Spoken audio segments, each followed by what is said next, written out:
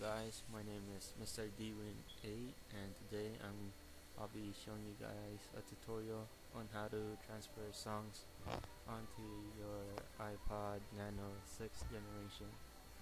In the past, uh, I've used uh, CopyTrans to transfer my music from computer to my iPod uh, Nano 1st generation, but now that I'm using a newer version of iPod Nano, which is iPod Nano 6th generation, um, CopyTrans doesn't work anymore.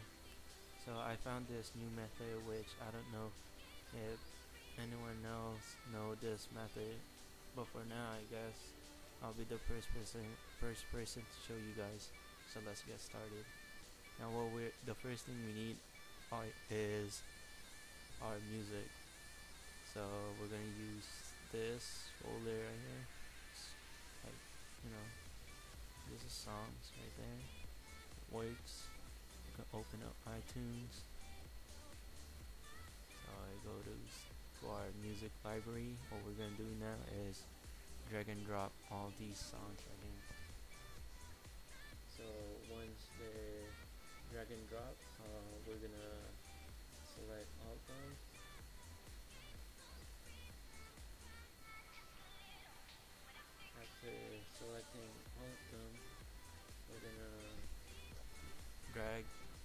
Our music like our songs to the right which shows us this playlist right here. So we're gonna make a new playlist. So you guys can edit that if you guys want to you know. So once that's done uh, we're gonna plug in our iPod Nano 6th generation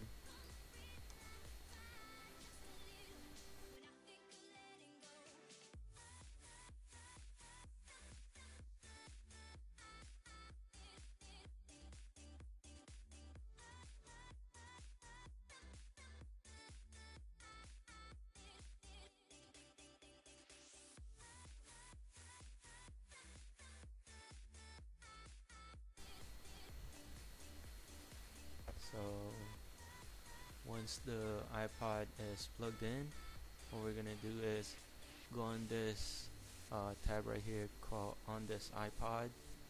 So once you're right there we're gonna click on this autofill right here on the bottom right of iTunes. So we're just gonna click it. So now it's transferring all the songs that we want to transfer to our iPod so once that's done uh, we're gonna disconnect our iPod and yeah I'll be showing you guys the result.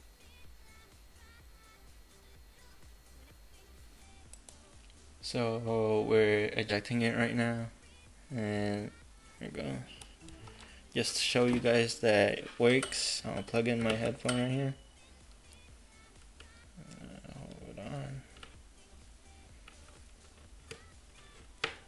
there.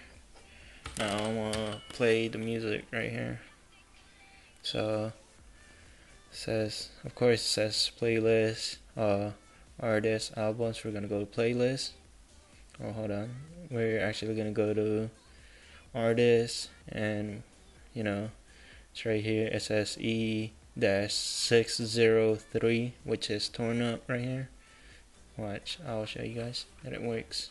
See I got torn up right here. See?